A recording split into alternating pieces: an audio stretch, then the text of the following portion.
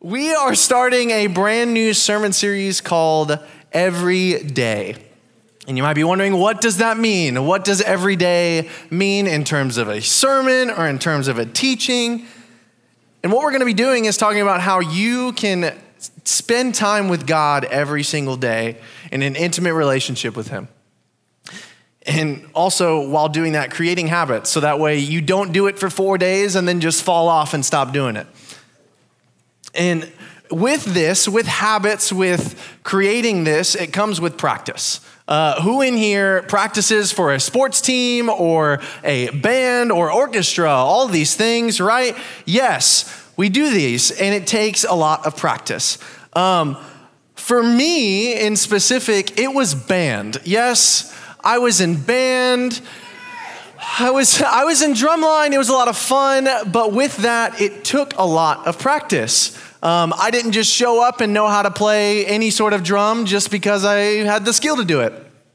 It started all the way into sixth grade. So before sixth grade, uh, you go to the high school that you are supposed to go to in a couple years, and there's these tables. You go to each table, and it's like, okay, well, this is the trumpet table. You put your name down. Great. Next table, do I want to do any of these other things? It's super simple.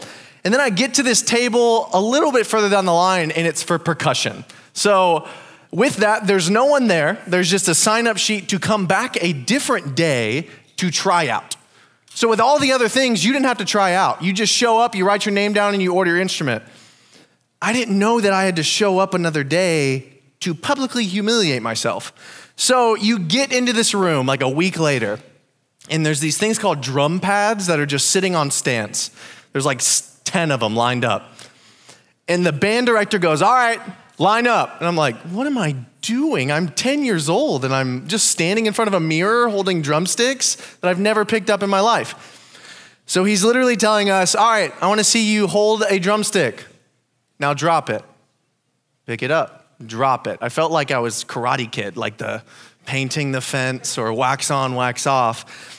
And I'm sitting there and I somehow get like the opportunity to do this. Like they, they said, all right, you pass, you can come and play in middle school.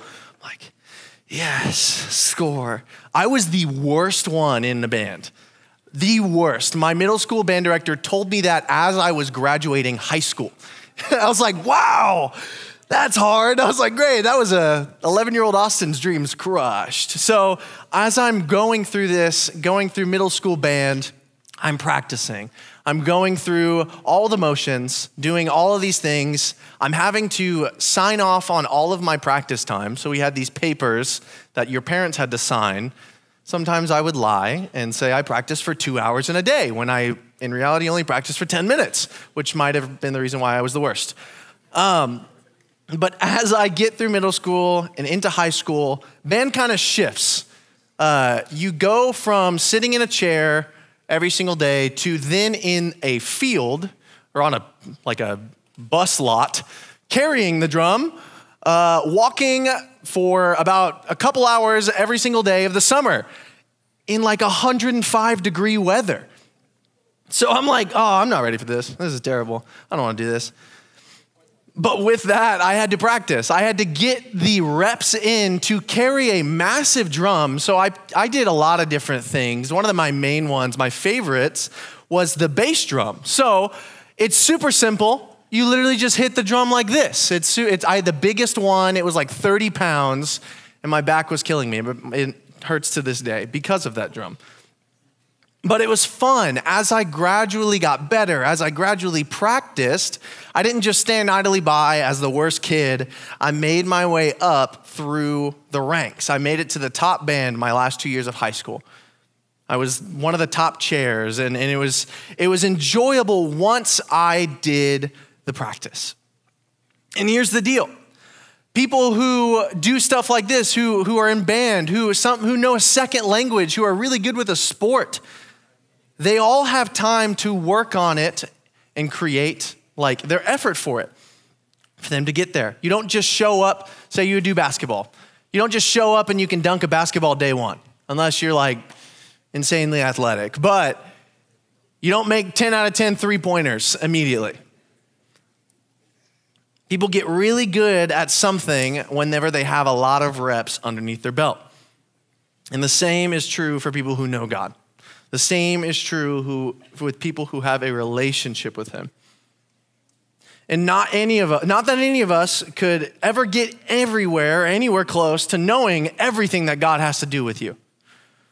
In fact, striving to know everything there is to know about God may even be may not even be the goal.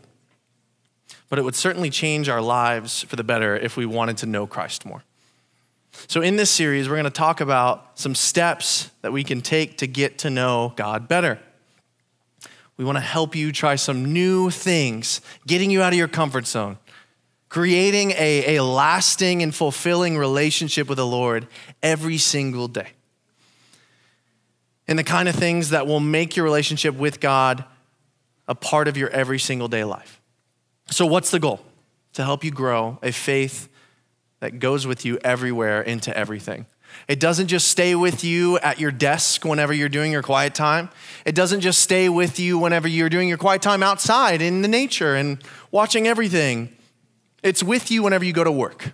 It's with you whenever you go to school. Whenever you live your life, our goal is for you to live that with a relationship with the Lord. And with that, knowing God is a lot like knowing people. It's a relationship. You can, you can learn a lot about people, but they surprise you every now and then. With your friends that you have, you might know them for 10 years, and one day you just kind of find out something new about them, right? Super weird. In relationships, you're dating this person, and you're like, I've been dating you for two years, but I found out you like pineapple. I didn't know that. I thought you were allergic, right? It's just random things. Sorry. They aren't just puzzles that you put together and that you just are done whenever you're done with it. You're just like, okay, I'm done. Textbooks, you read it, puzzles, you do it. They're people. They are, they have emotions. They are a, a living being. And knowing God is the same way. Knowing God is about a relationship. He's not about checking off the boxes. Once you finish that puzzle, you're like, yeah, I'm done. But with God, you're like, no, I'm just getting started. And developing relationships with the people you're around makes sense, right? But building a faith and developing a relationship with God isn't as clear. Sometimes we don't get the exact roadmap. Sometimes we don't get every single decision that's going to happen in our lives. And with that, it might bring up some questions in our life. One, how do you really know God? I mean, you can't really see you can't really see God the way you see other people, right? You may think that there's a God out there, but, but God is represented and described in so many different ways by so many different people. Which one's right? What do I believe? What do I understand? And how in the world do we, as ordinary human beings on this massive planet, get to know God better? Second, is it really possible for me to know Him? Or is it something that only the super Christians can do? Is it only something that the people who, who strive for it every single day? He wants every single one of you. Or why would I want to know God? What would that mean for my life? Would it make it better or would it make it worse?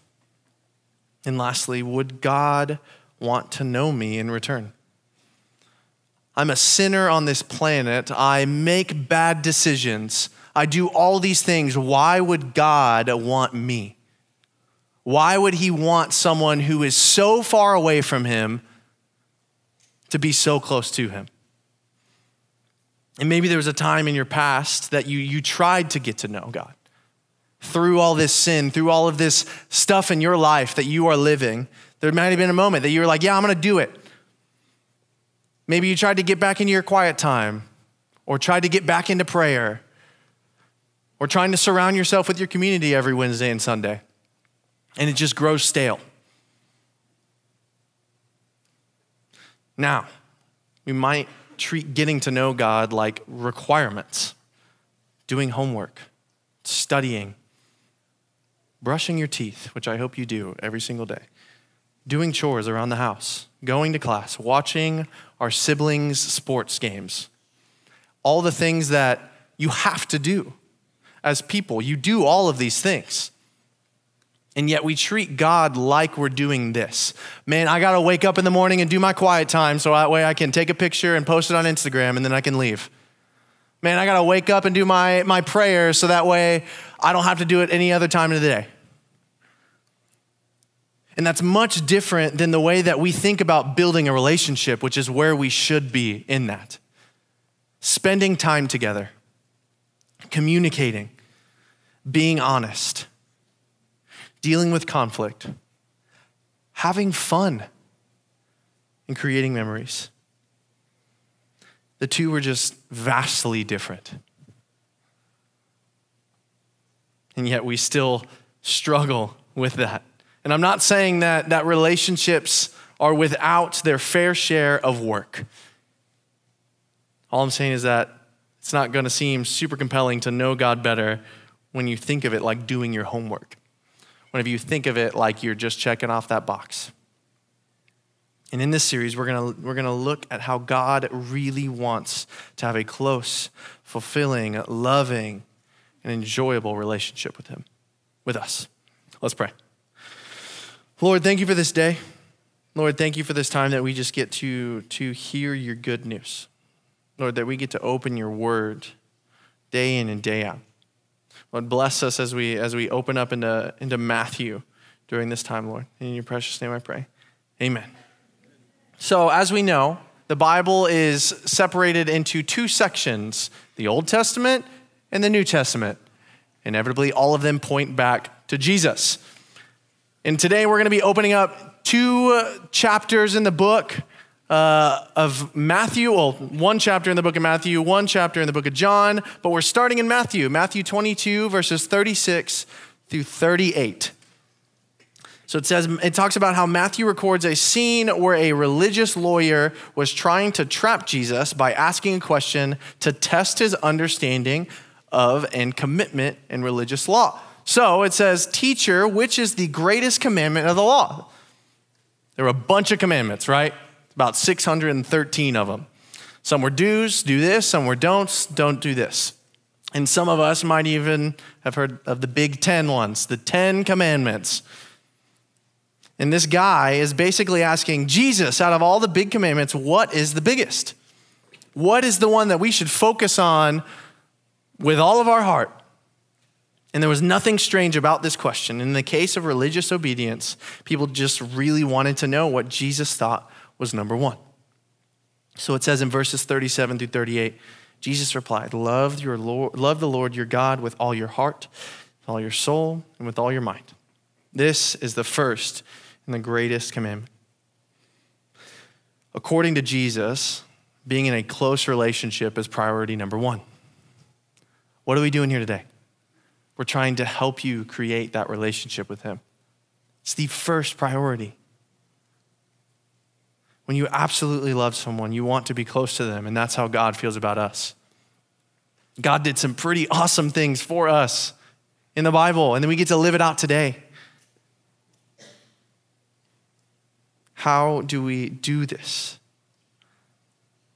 How do we do this? And in this book, in this chapter, we're going to learn. We're going to learn about this today. And during a time when Jesus was talking to his disciples, he explained what a connection of God looks, with God looks like. And in the end, up being the last meal that they share together with him before Jesus died. So, as Jesus is passing his wisdom on to them, uh, this is in John 15, verse 5. Um, it says, I am the vine, you are the branches. If you remain in me and I in you, you will bear much fruit. Apart from me, you can do nothing. Think about that for a second. Apart from, apart from me, apart from you, apart from our God, we can do nothing. Without Him, we have no sustenance, we don't have any fulfillment. And Jesus was so great at using everyday examples to teach powerful lessons, and vines and branches were relevant to his disciples. A vine is a foundation, it is the source of life. And in order to, to survive and thrive, the branches must stay connected to the vine. When Jesus said we must remain in him, It's simply another way of saying that we need to be connected to Him. Why? Because when we do, we produce much fruit.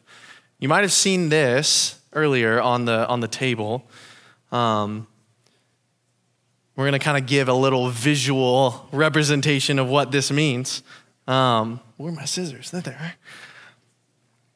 And with this, Jesus was getting at, and using vines and branches as an example, a branch, bloom, or a piece of fruit cannot exist on its own apart from a vine. It has to be connected to the source of life for it to grow. This plant, this plant right here, represents all of us in our unique, God created differences. Jesus wants to, wants to produce fruit in us.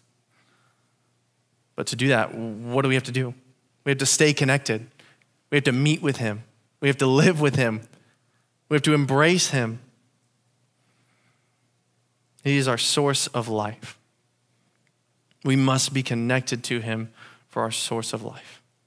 So, what happens whenever we're not, right? So, I come in here, it's really hard to see. There is a flower blooming right here. I got these from Walmart. Uh, so, it's really small. This is a tomato plant. So it's not a flower, but tomatoes start as a little flower. But you see, there's like a little yellow bulb here, little baby, right here. It is gaining its sustenance, it is gaining its nutrients. And what happens whenever I sever it? A murderer.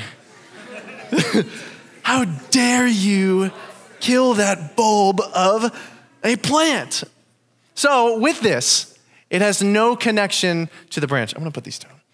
Uh, no connection to the branch anymore. This flower will not gain its nutrients. Without it, it is lost, it is, it is burnt, it is gone. And the same is true when it comes to our relationship with God, our connection to Him. Just like a branch needs to be connected to its source of life to grow, you and I need to be connected with God to keep going and growing in our faith. If we want to know more about God and if we want to, our lives to show it, we have to stay connected with God every single day. And here's the good news we don't have to figure out how to stay connected to God. Jesus makes that connection possible. He waits for us to meet with Him every day. When Jesus died on a cross and rose from the dead, he took away the barrier between us and God. He took away that sin that was in between us and Him. He created a way for us to connect with God wholly and directly. And if we stay connected with our God, our lives will show it. Our relationships, our attitudes, our choices, our words will show it. There is no better life than a life connected with God. There is no better life than a life rooted in Jesus. This little bulb, no longer rooted. Apart from Him, it is nothing. Apart from Him, we are nothing. We can do nothing. And if we want to know more about God, oh, goodness gracious, it just changed. If we want to know more about God and we want our lives to show it, we have to stay connected to Him.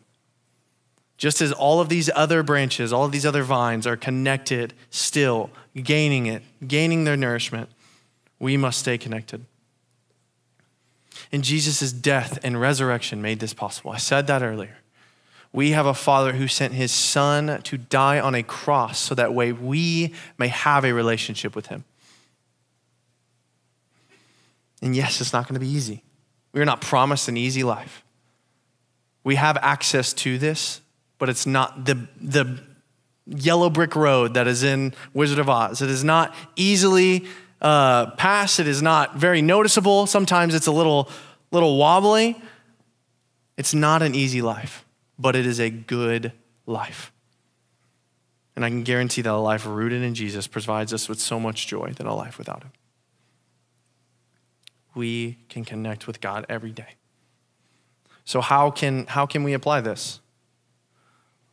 Let's think about how we're, we're getting to know our close friends, the people that you're getting to know around you in your community groups, in your classes. How'd you become friends with them? How did the process get going? Well, when it, when it first began, you were in a small group, you were in a class, you were um, in groups of friends together, but you didn't really know each other very well. And that's it. Maybe you hung out a couple times or you immediately struck up friendship right away. Maybe you were in the same school for years before you actually became friends. I had a friend who I sat next to in a class and didn't talk to him ever in like fourth grade, and then we ended up being really good friends in high school. It took that long for that. It's different for so many people. It can change in different extended lengths of time. And when it comes to getting to know people and getting to know God, you just have to be around God. You're not going to get to know people if you're locking yourself in your room after school playing video games for eight hours a day. You're not going to have those, those opportunities for you to grow in community if you are not seeking the community. It is a step of faith. It is, a st- it is an action step for you in your faith to do this. It is an opportunity for you to connect. And how I said earlier, it's it, knowing God is about a relationship. It's not about all those requirements that you have to wake up and do. It's not to check off the box. He wants a relationship with you. It's not one sided. You're not going to get there and be like, God, I want you. And He's going to say, No, you sinned today, and you're going to sin tomorrow. I don't want you. He's there waiting for you to reach out your hands. He's there waiting for you to finally break down the walls of sin that is entangling you in your life. God wants all of you at your lowest and at your highest. And God loves you so much, and He's not going to make it difficult to connect with you. So let's look back at those questions that I asked in the beginning. One, how do you really know God? Through faith and revelation, believing the existence of God, and having faith in teachings and scripture and what you learn in the Word. Or personal relationship, actively pursuing Him. It's a relationship. It's not one sided. Lord is waiting for you at that door. Two, is it really possible for me to know God? Simple answer yes. We have an opportunity to pursue the Lord with our whole heart through prayer, through communion, through reading, spending time with Him. It's a choice. It is a yes that you are giving God. The ball's in your court. He's waiting on you to make that decision. And why would he want to why would I want to know him? If I'm trying to get there, if I'm get, if I'm on the way, why would I want to know him? Well, we're promised guidance and wisdom in him. There's a connection and relationship. We have belonging in him. We have safety in him. He's there to protect us and guide us through our sin and our adversity. And if all of these things are there, and they all sound pretty awesome, why are we not taking it?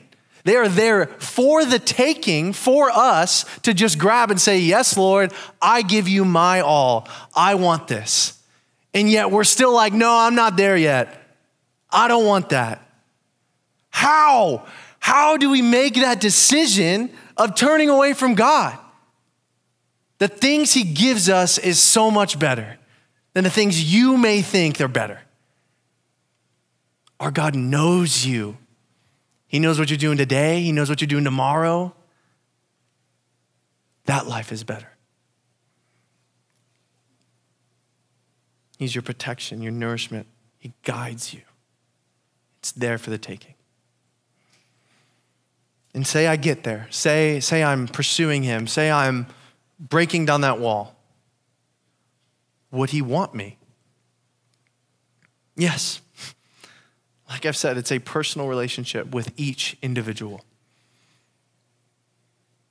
It's supported by so many Bible verses. We're going to get into it. Just rapid fire, just throwing it at you. Talks about a desire for connection, an invitation to have a relationship with Him. So in Jeremiah 29, verses 11 through 13, it says, For I know the plans I have for you, declares the Lord plans to prosper you and not to harm you plans to give you hope in a, in a future, then you will call on me and come and pray to me, and I will listen to you. You will seek me and find me when you seek me with all your heart. Emphasis on the all your heart. Don't give him 99%. Give him the extra one. Give him all of you. How about literally in John 3:16, for God so loved the world, he gave his one and only son that whoever believes in him shall not perish but have eternal life. That's the story. We live this life today because of that.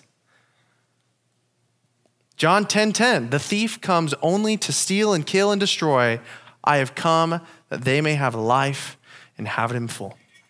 He's here to give us a full life. James 4 8, come near to God and he will come near to you. If you meet him there, he will meet you. If you, if you reach this point, he will be there with you, no matter what, no matter the circumstances. And lastly, Revelation 3:20. Here I am. I stand at the door and knock. If anyone hears my voice and opens the door, I will come in and eat with that person, and they with me. These Bible verses are a great representation of, of what kind of relationship the Lord wants with us. He knows you. He wants that relationship with you. He wants to commune with you. He wants to pray with you. He wants to rest with you. And these verses and so many others in the Bible convey the idea that God not only wants, but actively seeks a relationship with you. He desires for people to seek Him call upon Him, and open their hearts to Him. We have to meet Him there. So that way we may experience His love, His wisdom, His guidance, His blessing. So remember how I was saying that every single day I had to practice, you have to practice for all your sports. Every single day. Well, we get to meet with God every day. It's not a I have to meet with God every day. It is a I get to. I get to sit in the presence of our God and just share my life, to pour out my heart. We get to experience Him. Remember, we can connect with Him every single day through prayer, through reading, through resting in Him. And you might see these things and, and think, I don't have any more time to give. I've been in your shoes. The, the answer is yes, you do. You're not as busy as you say you are. You have time in your day. Fix your sleep schedules. Wake up 30 minutes earlier. Spend time with the Lord. 30 minutes is not a big difference. I'm sorry. I don't care what anyone says. 30 minutes is not a big difference. You have no excuse. Plan your days well. Go to bed earlier. Spend time with the Lord every single morning. You must create habits and a lifestyle centered around Jesus. He's much better than anything else.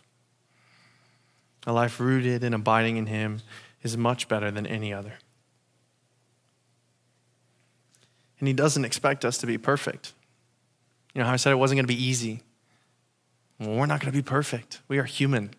We mess up, we fall short. And through that, He, he loves us. He's formed us to be the people that we are, the unique children of God that we are. He calls us by name and wants us to be close to Him. That's the starting point spending time with Him. Connection is important to God. And now you can leave here and spend that time and, and understand what it is to be nourished by Him, to be loved by Him, to understand Him. And if this is the first time or the 50th time that you've heard this, I want you to lock in now. We're at the tail end God wants you. God wants a relationship with you. He doesn't care the sin that you live, the things that you go through. He wants you. We have a God who sent his one and only Son to die on a cross for you. So that way we don't have to live this sinful life. We can say, God, I want you to have all of it. Lord, I leave this sin at your feet. God loves each and every one of you. He's not leaving you to dry, He's there to pick you up. You must pursue Him. And now, as, as you head to your small group, I want you to think about this question. One more question. What can you do to make sure you are around God more? Let's pray. Lord, thank you for this day.